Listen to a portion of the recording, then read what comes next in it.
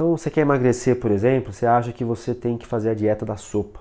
E também tem a galera que quer ler mais e aí ele resolve que ele quer ler um livro por semana. A gente quer recuperar o tempo perdido. A gente errou por tanto tempo que agora a gente coloca na cabeça que a gente tem que recuperar aquele tempo perdido e a gente acha que a gente consegue.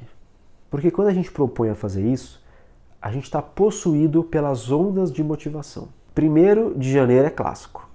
As pessoas vão, escrevem um monte de metas. Eu também era assim, colocava um monte de metas. Esse ano eu vou ler 48 livros. E isso mudou. Pelo menos a minha percepção mudou depois que eu conheci o modelo de comportamento do BJ Fogg.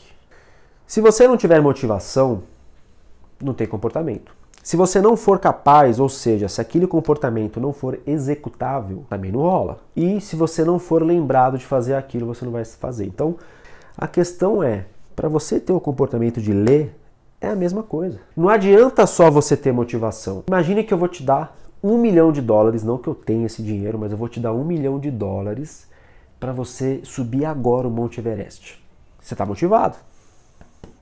Tô te lembrando. Mas cara, você tem capacidade, você consegue. Então existe comportamento.